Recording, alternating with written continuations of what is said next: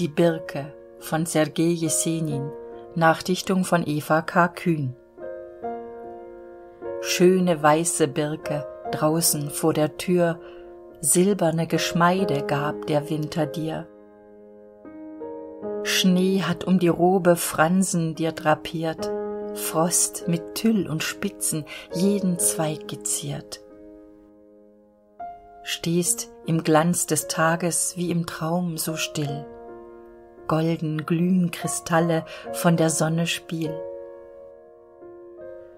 Dann zur blauen Stunde wandelt rund der Mond, macht, dass nun die Birke neu in Silber thront.